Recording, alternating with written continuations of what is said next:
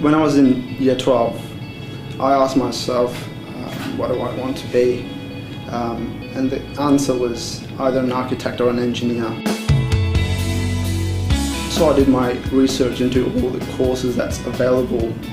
My objective was to enter a specialised field. That's what I aimed for and I've got there.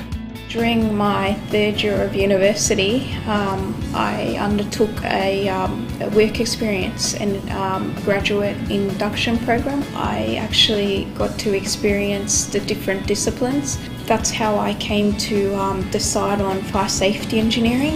I think as a fire safety engineer, we need a very broad uh, amount of knowledge regarding every system that goes into a building and I think the course has provided me with just that.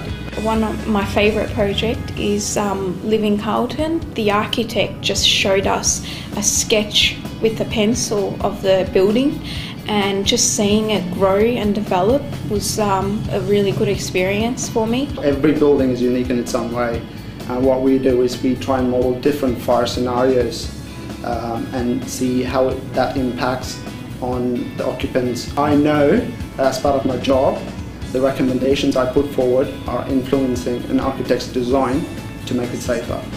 My career plans are to become chartered, which will make me a professional engineer. At the moment I'm studying uh, part-time for a postgraduate course. Uh, it's a graduate diploma specializing in fire safety. Both these are offered at VU and I'm happy to be back at VU.